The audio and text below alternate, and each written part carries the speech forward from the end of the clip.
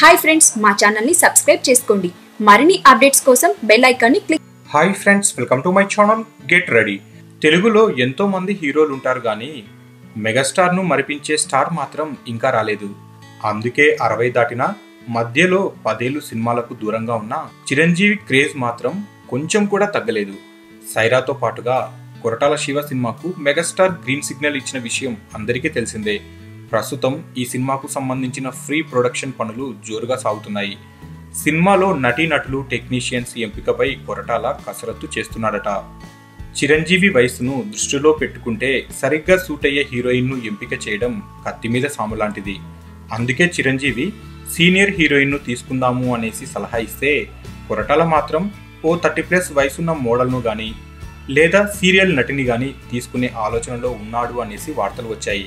కానీ తాజా సమాచారం ప్రకారం కొరటాల శివ చిరంజీవి సలహాకే ఓటు వేశాడట. ఇక ఇప్పటి వరకు చిరంజీవి అనుష్క కాంబినేషన్లో సినిమా రాలేదు.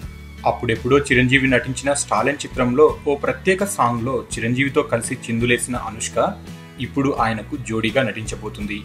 ఇక కొరటాల ఈ చిత్రాన్ని మంచి సోషల్ మెసేజ్తో తెరకెక్కించబోతున్నాడు అనేసి సమాచారం. ఈ చిత్రంలో చిరంజీవి రెండు విభిన్నమైన పాత్రల్లో నటించబోతున్నాడట. ఒకటి ఎన్ఆర్ఐ పాత్ర కాగా మరొకటి రైతు పాత్ర అనేసి సమాచారం.